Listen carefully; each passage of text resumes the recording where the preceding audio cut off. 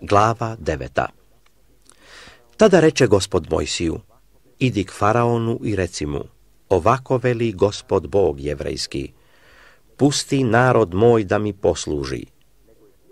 Ako li ih ne pustiš, nego ih još staneš zadržavati, evo ruka gospodnja doći će na stoku tvoju u polju, na konje, na magarce, na kamile, na volove i na ovce s pomorom vrlo velikim. A odvojit će gospod stoku izraelsku od stoke egipatske, te od svega što je sinova Izraelovih neće poginuti ništa. I postavio je gospod rok, rekavši, sjutra će to učiniti na zemlji gospod. I gospod učini to sjutradan, i sva stoka egipatska uginu, a od stoke sinova Izraelovih ne uginu ni jedno. I posla faraon da vide, i gle, od stoke izraelske ne uginu ni jedno. Ipak otvrdnu srce faraonu i ne pusti naroda. Tada reče gospod Mojsiju i Aronu, uzmite pepela iz peći pune pregršti i Mojsije neka ga baci u nebo pred faraonom i postaće prah po svoj zemlji Egipatskoj, a od njega će postati kraste, pune gnoja i na ljudima i na stoci po svoj zemlji Egipatskoj. I uzeše pepela iz peći i stadoše pred faraona i baci ga Mojsije u nebo i postaše kraste pune gnoja po ljudima i po stoci. I vračari ne mogaše stajati pred Mojsijem od krasta, jer bijahu kraste i na vračarima i na svijem Egipćanima. I gospod učinite otvrdnu srce faraonovo i ne posluša ih, kao što bješe kazao gospod Mojsiju. Poslije reče gospod Mojsiju, ustani rano i izađi pred faraona i reci mu, ovako veli gospod Bog jevrejski, pusti narod moj da mi posluži, jer ću sada pustiti sva zla svoja na srce tvoje i na sluge tvoje i na narod tvoj, da znaš da niko nije kao ja na cijeloj zemlji. Jer sada kad pružih ruku svoju, mogah i tebe i narod tvoj udariti pomorom, pa te ne bi više bilo na zemlji.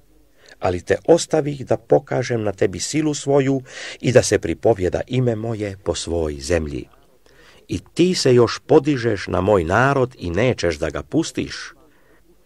Evo sjutra ću u ovo doba pustiti grad tako velik kakvoga nije bilo u Egiptu od kako je postao pa do sada zato sada pošlji te skupi stoku svoju i što god imaš u polju, jer će pasti grad na sve ljude i na stoku što se zateče u polju i ne bude skupljeno u kuću i izginuće.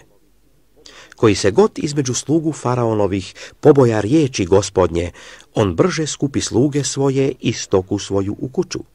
A koji ne maraše za riječ gospodnju, on ostavi sluge svoje i stoku svoju u polju. I gospod reče Mojsiju, pruži ruku svoju k nebu, neka udari grad po svoj zemlji Egipatskoj na ljude i na stoku i na sve bilje po polju u zemlji Egipatskoj. I Mojsije pruži štab svoj k nebu i gospod pusti gromove i grad da oganj skakaše na zemlju. I tako gospod učini, te pade grad na zemlju Egipatsku.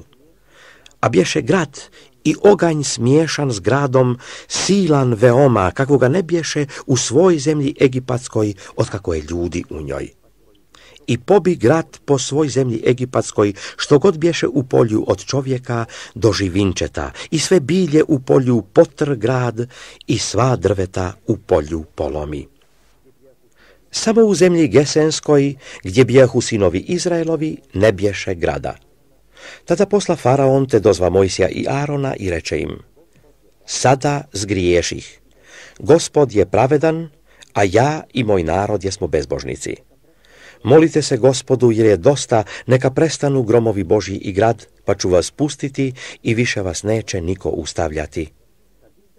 A Mojsije mu reče, kad izađem iza grada, raširit ću ruke svoje ka gospodu, a gromovi će prestati i grada neće biti više, da znaš da je gospodnja zemlja.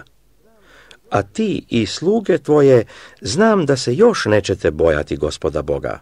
I propade lan i ječam, jer ječam bješe klasao, a lan se glavičio. A pšenica i krupnik ne propade, jer bješe pozno žito. I Mojsije, otišav od faraona iza grada, raširi ruke svoje ka gospodu i prestaše gromovi grad i dažd ne padaše na zemlju. Ali faraon vidjev gdje presta dažd i grad i gromovi stade opet griješiti i srce mu otvrdnu i njemu i slugama njegovim. Otvrdnu srce faraonu te ne pusti sinova Izraelovih kao što bješe kazao gospod preko Mojsija.